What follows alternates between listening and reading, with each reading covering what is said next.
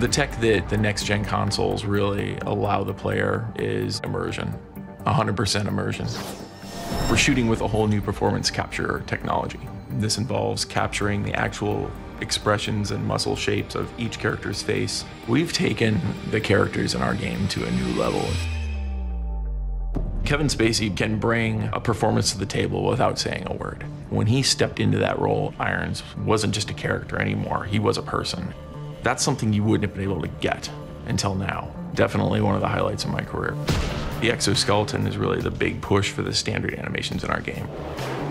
We're building a whole separate character skeleton on top of the actual character animation to be able to see all those articulated parts and things moving as he's running is really going to let you feel like a badass, which is something that everybody needs to feel like when they're playing Call of Duty.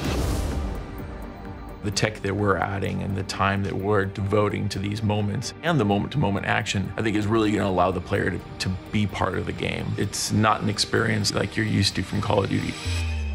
It's going to blow people away. For the art style, there were three principles a very advanced technical look. It needed to feel legitimately military and relatability, making sure that everything is relatable. We're still in the Call of Duty universe, and it's a very legitimate world. What we do is we take these realistic things and we reconfigure them in a way that looks futuristic, but they're all from a grounded world. Because our subject matter is, is very advanced and technical, and we're kind of peering into the future, we did whatever it took to make the game look as photorealistic as possible.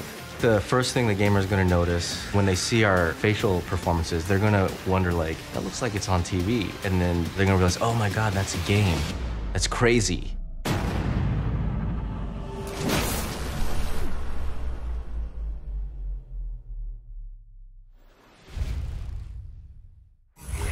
Pre-order now and supercharge your loadout with the Advanced Arsenal.